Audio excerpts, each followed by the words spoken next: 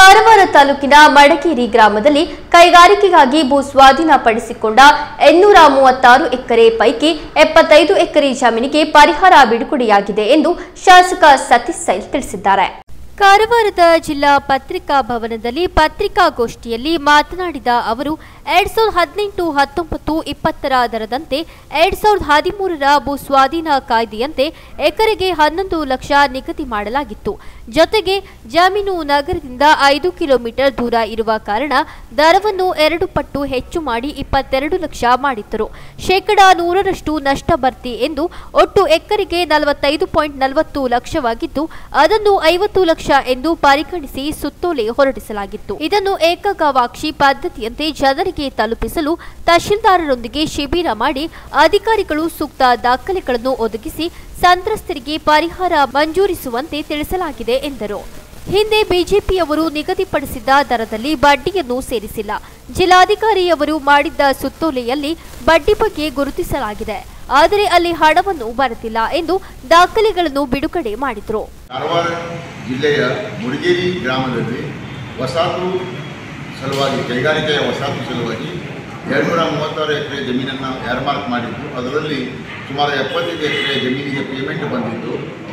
ಅದನ್ನು ಮಾಡುವಾಗ ಇವತ್ತಿನ ದರದ ಅಂದರೆ ಹದಿನೆಂಟು, ಹತ್ತೊಂಬತ್ತು, ಇಪ್ಪತ್ತು ಈ ಸಾಲಿನ ದರವನ್ನು ಹಾಕಿಕೊಂಡು ಎರಡು ಸಾವಿರದ ಹದಿಮೂರು ಹೆಕ್ಟರಂತೆ ಅದಕ್ಕೆ ನಿರ್ವಹಣೆ ಆಗುವಂತೆ ಅವರು ಅಮೌಂಟನ್ನು ಮತ್ತು ಐದು ಕಿಲೋಮೀಟರ್ ಇದ್ದಕ್ಕೆ, ದೂರ ಇದ್ದಕ್ಕೆ ಅದಕ್ಕೆ ಡಬಲ್ ಮಾಡ್ತಾರೆ.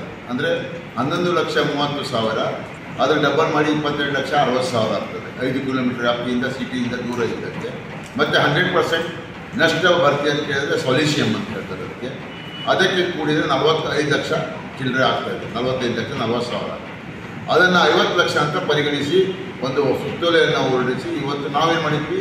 ಐವತ್ತು ಲಕ್ಷ ಜನರು ಎಲ್ಲ ಒಪ್ಕೊಂಡಿದ್ದಾರೆ ಅಂತ ತಿಳ್ಕೊಂಡು ಎರಡು ದಿವಸದ ಒಂದು ಏನು ಮಾಡಿದ್ವಿ? ಅಲ್ಲಿ ಶಿಬಿರವನ್ನು ಮಾಡಿ ಜನರಿಗೆ ಒಂದು ಹದಿನಾಲ್ಕು ಡಾಕ್ಯುಮೆಂಟ್ಸ್ ಏನು ಬೇಕಾಗಿದ್ದು ಅದನ್ನು ಸಿಂಗಲ್ ವಿಂಡೋದಲ್ಲಿ ತಹಶೀಲ್ದಾರ್ ಕಾರವಾರ ಅವರಿಗೆ ಹೇಳಿ, ಒಂದೇ ಇದ್ದಾಗ ಎಲ್ಲ ವಾಸ ಏನು ಡಾಕ್ಯುಮೆಂಟ್ಸ್ ಬೇಕು, ತಹಶೀಲ್ದಾರ್ ಅವರು ಕೊಡೋದು. ಕೇವಲ ಅವರ ಮನೆಯ ಏನು ವಂಶಾವಳಿಯನ್ನು ಮಾತ್ರ ಅವರು ಕೊಟ್ಟರೆ ಆ ಹಣವನ್ನು ನೇರವಾಗಿ ಅವರ ಅಕೌಂಟಿಗೆ ಹೋಗುವುದು.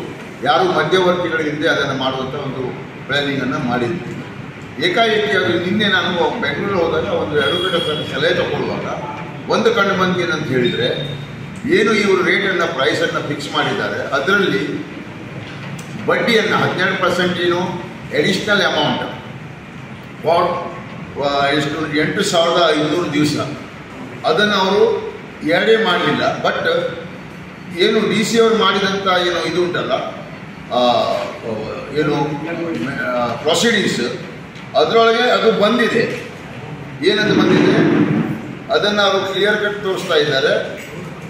ಈ ಅಮೌಂಟು ಇಷ್ಟು ಅಲ್ಲಿ ಬರಬೇಕು.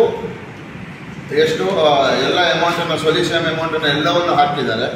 ಆದರೆ ಈ ಒಂದು ಪ್ಯಾರಾವನ್ನು ಗ್ಯಾಪ್ ಇಟ್ಟಿದ್ದಾರೆ ನೋಡಿ.